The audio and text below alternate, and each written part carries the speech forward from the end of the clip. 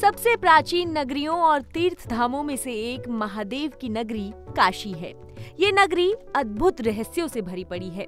काशी नगरी माँ गंगा के तट के समीप बसी है और यहाँ लगभग चौरासी घाट बने हैं, जिनमें से सबसे प्रसिद्ध और रहस्यों से भरा घाट मणिकर्णिका घाट है, जिसे महाशमशान भी कहा जाता है।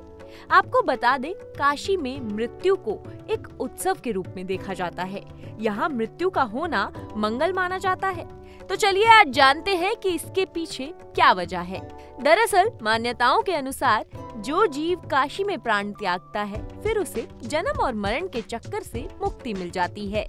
माना जाता है कि मणिकर्णिका घाट के तट पर मृत्यु शुभ है। कहते हैं कि इसकी प्रशंसा स्वयं देवता करते हैं। जिस व्यक्ति की मृत्यु काशी में होती है, उसे देवताओं के राजा इंद्र अपनी सहस्त्र नेत्रों से देखने के लिए व्याकुल रहते हैं।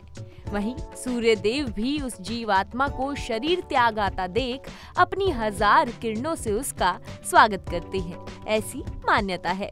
काशी में 24 घंटे जलती है चिता। काशी के मणिकर्णिका घाट में 24 घंटे चिता जलती रहती है और ये कभी भी नहीं बुझती। इसीलिए काशी के इस घाट को महाशमशान कहते हैं। ये घाट अनेकों रहस्यों से भरा पड़ा है। काशी खंड के अनुसार जिसका भी यहाँ अंतिम संस्कार होता है या मृत्यु होती है, उसे स्वयं भगवान शिव तारक मंत्र कान में देकर मोक्ष प्रदान करते हैं।